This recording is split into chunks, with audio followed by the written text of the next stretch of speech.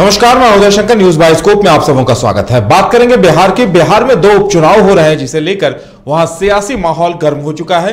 लालू प्रसाद यादव जैसे ही पटना पहुँचे, उन्होंने बयान दिया भक्त चरण दास को लेकर, जिसके बाद सियासी तेवर तल्ख हो गए हैं। कांग्रेस ने भी हमला बोल दिया है।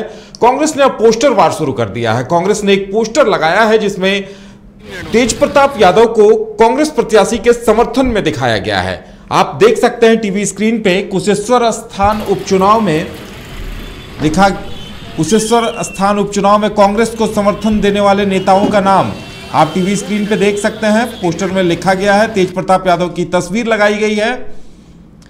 और लालू यादव की आलोचना की गई है। लालू बोले, भक्त चरण दास, भक्त चोनहर हैं। इस बात को भी पोस्टर में इंगित किया गया है और इसे दलित के अपमान से जोड़ा गया है। और कहा गया है कि कुशेश्वर स्थान विधानसभा उपचुनाव में वहाँ के दलित इस बात का बदला लेंगे।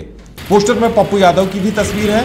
कांग्रेस नेता का कहना है कि इस पूरे मामले में कि जो भी लोग, जो भी नेता कांग्रेस के प्रत्याशी को समर्थन समर्थन दे रहे हैं, उनका नाम, उनकी तस्वीर इस पोस्टर में लगाई गई है। वहीं दूसरी तरफ़ मीरा कुमार ने भी लालू यादव के बारे में काफ़ी तल्ख टिप्पणी करते हुए कहा था कि उन्हें अभी और इलाज की ज़रूरत है। उन्होंने इसे लालू प्रसाद यादव की बीमारी से जोड़ दिया था। भक्त चरणदास के बारे लालू प्रसाद यादव के बयान को। अब इस पूरे मामले पर बिहार प्रदेश कांग्रेस के पूर्व सचिव क्या कुछ कह रहे हैं, सुनाते हैं हम आपको।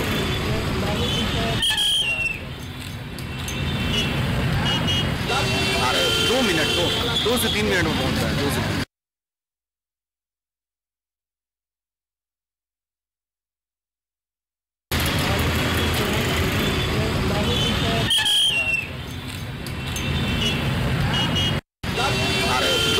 दो से तीन मिनट में पहुँच रहा है, दो से तीन।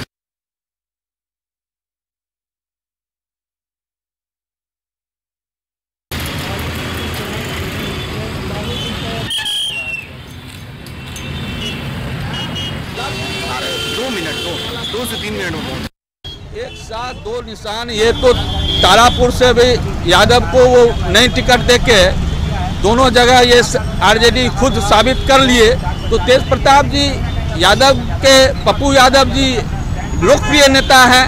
ये लोग स्वयं यहाँ के समर्थन कुशेश्वर स्थान के लिए दिए हैं। पप्पू यादव जी वहाँ मेहनत भी कर रहे हैं। तेज प्रताप जी भी हमारे अशोक राम जी के घर पर आके उन्होंने मिल के समर्थन दिया। इसीलिए ये लोग अब समझ रहे हैं जो राष्ट्रीय स्तर पे कांग्रेस ही विकल्प है और जिस तरह से जनता महँगाई, बेरोजगारी से त्रस्त है, वो हम लोग समर्थन दे रहे हैं। इसीलिए एक तीर से दो निशाना कहिए या चौगुना निशाना कहिए या बल्टी कहिए, ये निश्चित रूप से जनता जो है, इस बार जात धर्म में लोग ये दल फंसाना चाह रहे हैं और जनता इससे ऊपर उठ के दलित समाज को जिस तरह से अपमानित किए हैं, मीरा कुमार जी भी जिस तरह से भावुकों का हाथ थी, वो कई जो जिस इतना बड़े नेता के भी किस तरह के सोच है हमारे जात समाज के प्रति, जगजीवन राम जी के वो बेटी हैं। तो ये निश्चित रूप से मुस्लिम समाज में भी ये खराब मैसेज गया लालू जी की इस भाषा से, वो कांग्रेस थोड़ा बहुत जदयू में बटेंगे आरजेडी का ज़ीरो वोट जो है जाने वाले। प्रताप जी आपके लिए प्रचार करेंगे? उनका घोषणा किया हुआ? है कांग्रेस उनके पास नहीं गए वो स्वयं आके समर्थन दिए।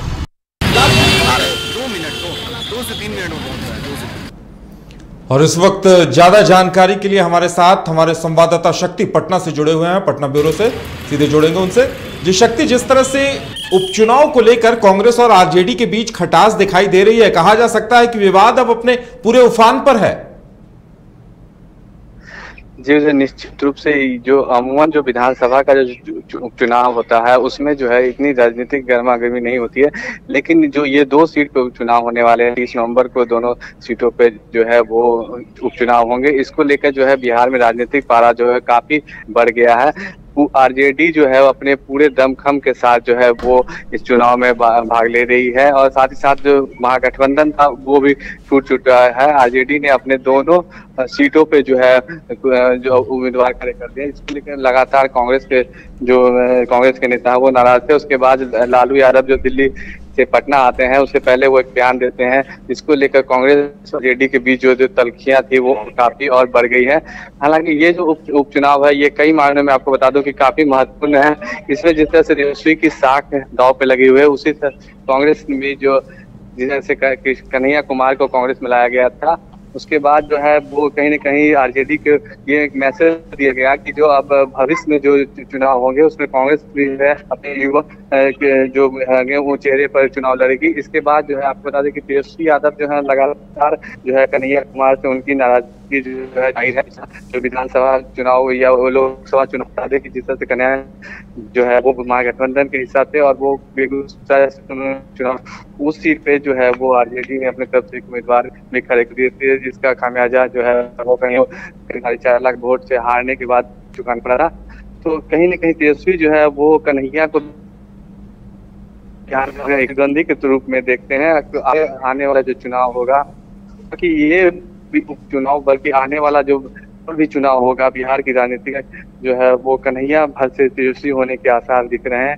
क्योंकि जिस तरह से तेजस्वी यादव को एक तो बताए आरजेडी का पारंपरिक जी जी शक्ति जैसा कि आप बता रहे हैं कि तेजस्वी के लिए प्रतिष्ठा का प्रश्न बन चुका है और अब लालू प्रसाद यादव ने जो बयान दिया है भक्त चरण दास को लेकर उसे लगता है कांग्रेस पूरी पार्टी ने इसे अपनी प्रतिष्ठा से जोड़ लिया है।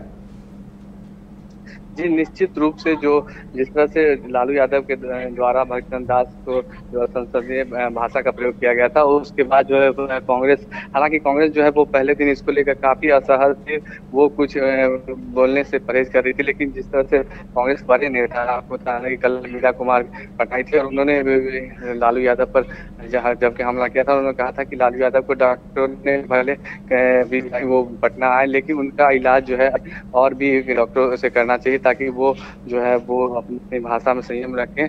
और लगातार कांग्रेस के जो बड़े नेता हैं बिहार में, में वो लगातार आरजेडी पर जो है और इसका कहीं ना कहीं जो फ़ायदा है एनडीए को उपचुनाव में मिल निश्चित रूप से मिलने की संभावना है। जी उदय।